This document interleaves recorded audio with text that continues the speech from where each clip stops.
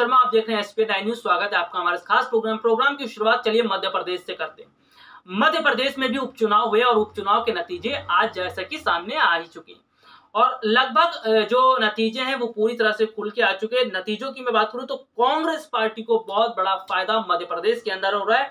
कांग्रेस के प्रत्याशी अजय टंडन, उनको काफ़ी वोट मिलते हुए नज़र आ रहे हैं और बीजेपी प्रत्याशी राहुल सिंह लोधी, उन्हें नुकसान हो रहा है। दरअसल बात करूँ राहुल सिंह लोधी, जिन्होंने अपने क्षेत्र तक में काम नहीं किया था। पानी की एक बहुत बड़ी समस्या उनके क्षेत्र में थी, लेकिन वहाँ की जनता से जब वोट मांगने गए थे वो तो वहाँ की जनता ने उन्हें भगा दिया था। यह कहकर कि राहुल सिंह लोधी ने यहाँ पर काम नहीं किया। अक्सर देखने को मिलता है कि राजनीतिक पार्टी के जो नेता होते हैं, वो वायदा तो करके चले जाते हैं, चुनाव भी जीत जाते हैं और झांकने तक नहीं आते कि उनके क्षेत्र की जो जनता है वो किस हालत में है और कितनी समस्या है, उन्हें इस बारे में कोई नहीं जानते। तो ऐसे में बात की जाए तो जो जनता है, उसको ये देखना होता है कि वो जिस प्रत्याशी को चुनाव में वोट कर रही है, वो प्रत्याशी उस लायक है भी या नहीं। क्योंकि अक्सर देखने को मिलता है कि जो जनता होती है, वो थोड़ा भेड़ चाल में चली जाती है। भेड़ चाल में जाने के बाद जनता को नुकसान उठाना पड़ता है, क्योंकि जनता समझ के साथ काम नहीं करती है। हालाँकि अगर बात करूँ तो यहाँ पर जिस तरह से स्थितियाँ देखने को मिल रही है, कि बिल्कुल ये हुआ कि वहाँ की जो जनता है राहुल सिंह लोधी के जो क्षेत्र आता है, वहाँ पर वहाँ की जनता ने साफ़ तौर पर यह कह दिया था कि वो राहुल सिंह लोधी को वोट नहीं करेंगे, बीजेपी प्रत्याशी हैं राहुल सिंह लोधी और राहुल सिंह लोधी जो है उन्हें कम वोट पड़ते हुए दिखाई दिया और कांग्रेस प्रत्याशी अजय टंडन को फ़ायदा मिलता हुआ नज़र आ रहा है और इसके अलावा कांग्रेस के कुछ और प्रत्याशी भी हैं जिन्हें फ़ायदा मिलता हुआ नज़र आ रहा है। यानी कि जो उपचुनाव हुए मध्य प्रदेश के अंदर, इस उपचुनाव में कांग्रेस पार्टी को बड़ी बढ़त मिल रही है और बीजेपी को बड़ा झटका लग रहा है। चलिए एक रिपोर्ट आपको दिखाते हैं, किस तरह से इस उपचुनाव का हाल रहा और अजय टंडन को कितना बड़ा फ़ायदा मिल रहा है? देखिए एक खास रिपोर्ट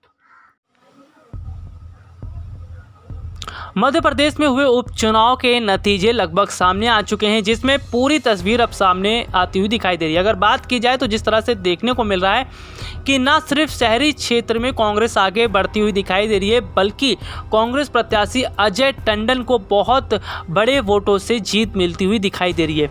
ऐसे में अगर देखा जाए तो इस उपचुनाव में कांग्रेस पार्टी को बड़ा फ़ायदा मिल रहा है और बीजेपी को झटका लग रहा है। दरअसल बीजेपी को झटका लगने की असली वजह यह है कि बीजेपी प्रत्याशियों ने अपने इलाकों में काम नहीं किया। और इसके अलावा अगर बात की जाए तो जिस तरह से देखने को मिला, ज्योतिरादित्य सिंधिया और शिवराज सिंह चौहान के बीच में भी अनबन थी और ज्योतिरादित्य सिंधिया को जिस तरह से इस उपचुनाव से दूर रखा गया था, इसका असर भी देखने को मिलता आ रहा है।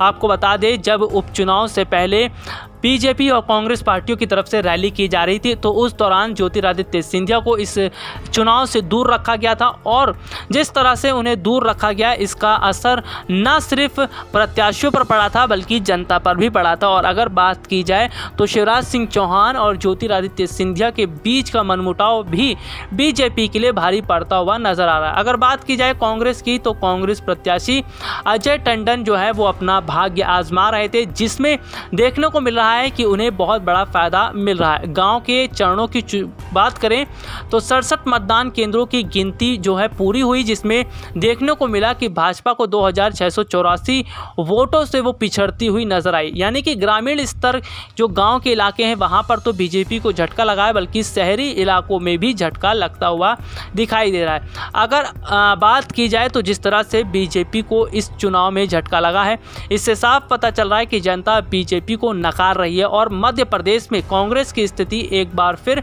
मज़बूत होती हुई दिखाई दे रही है। आपको बता दें कि जिस तरह से स्थितियों में देखने को ये मिल रहा है कि न सिर्फ़ राज, मध्य प्रदेश में बल्कि राजस्थान में भी कांग्रेस को फ़ायदा मिला है। तो इस तरह से कांग्रेस को बढ़त मिलती हुई नज़र आ रही है। वहीं अन्य चुनावों की भी मैं बात कर लेता हूँ तो अन्य चुनाव में देखने को ये मिला कि जिस तरह से बड़े स्तर पर पश्चिम बंगाल में खास तौर पर टीएमसी की जीत हुई और बंगाल की जनता ने यह बता दिया कि किस तरह से वो अब ममता बनर्जी के साथ हैं। यानी कि ममता बनर्जी ने जो मेहनत की थी, जो रैली की थी, उसका बड़ा फ़ायदा अब उनको मिलता हुआ नज़र आ रहा है। और सबसे बड़ी बात जो है वो ये है कि बंगाल चुनाव से पहले बीजेपी ने कितनी बड़ी तैयारियाँ की थी। जिस तरह से रैलियाँ वो करती हुई नज़र आई थी, जिस तरह से बीजेपी के बड़े बड़े नेताओं ने रैलियाँ की थी, उन सभी रैलियों पर पूरी तरह से ममता बनर्जी ने पानी फेर दिया और इससे ये साफ़ पता चलता है कि ममता बनर्जी ने ये बता दिया कि पश्चिम बंगाल में उनके अलावा कोई अभी शासन नहीं करेगा और इसके साथ ही साथ बंगाल की जनता ने ममता बनर्जी का साथ देकर ये बता दिया कि बंगाल की जनता को अभी भी ममता बनर्जी पर भरोसा है। आपने कि किस तरह से बड़े स्तर पर यहाँ पर फ़ायदा होता हुआ नज़र आ रहा है? और लेकिन अगर मैं स्थितियों की बात करूँ तो जिस तरह से देखिए मध्य प्रदेश का उपचुनाव बहुत ज़्यादा मायने भी रख रहा था। हालाँकि कांग्रेस और बीजेपी दोनों ने अपनी पूरी पूरी ताकत यहाँ पर झोंकी थी और कांग्रेस ने अपनी पूरी ताकत लगाई थी और सबसे बड़ी बात है कि ये चुनाव जो है, वो बहुत अलग देखने को मिला था। और सबसे बड़ी बात अगर मैं यहाँ पर बात करूँ तो ये मध्य प्रदेश का जो चुनाव था इसका एक अलग नारा भी था, एक अलग स्लोगन भी था। तो यहाँ पर देखने को भी मिला कि मध्य प्रदेश का चुनाव, जिस तरह से कांग्रेस के लिए बेहतर साबित होता हुआ नज़र आ रहा है, इसका मतलब मध्य प्रदेश में अब कांग्रेस पार्टी मज़बूत होती हुई दिखाई दे रही है। मध्य प्रदेश के अंदर कांग्रेस पार्टी के मज़बूत होने से बहुत बड़ा फ़ायदा कांग्रेस पार्टी को होगा। इसके साथ ही साथ अगर मैं यहाँ पर बात करूँ तो मध्य प्रदेश के अलावा कुछ जो राज्य हैं, वहाँ पर जो भी विधानसभा चुनाव है, वहाँ पर भी कांग्रेस को थोड़ा बहुत फ़ायदा मिलता हुआ नज़र आ रहा है। लेकिन अगर पूरी स्थितियों की बात करें तो चुनाव जो है, वो पूरी तरह से संपन्न भी हो चुके हैं, नतीजे भी लगभग सामने आ चुके हैं। लेकिन नतीजे जो हैं, वो बहुत अब की बार चौंकाने वाले हैं। कहीं कांग्रेस को फ़ायदा हो रहा है, कहीं टीएमसी को फ़ायदा हो रहा है, लेकिन झटका किसको लगा है, वो आप ये देखिए। झटका लगा है सबसे बड़ा बीजेपी को बीजेपी को झटका लगा है पश्चिम बंगाल में। जिस तरह से पश्चिम बंगाल के अंदर बीजेपी ने अपनी पूरी ताकत लगाई थी चुनाव जीतने के लिए, उस पर अब पानी फेर दिया, पानी फेर दिया ममता बनर्जी ने। ममता बनर्जी ने यह साबित कर दिया कि बंगाल बंगाल है और बंगाल के लोग नहीं बदलेंगे। बंगाल के लोग पहले भी ममता बनर्जी के साथ थे, आज भी ममता बनर्जी के साथ खड़े हुए दिखाई दे रहे हैं और इसी का फ़ायदा ममता बनर्जी को मिला है, जो इतने बड़े स्तर से ममता बनर्जी चुनाव जीती हैं। यानी कि पश्चिम बंगाल में जो टीएमसी है, उसकी वापसी हुई है और बीजेपी को बड़ा झटका लगा है। फ़िलहाल के लिए आज मुझे इजाज़त दीजिए। नमस्कार।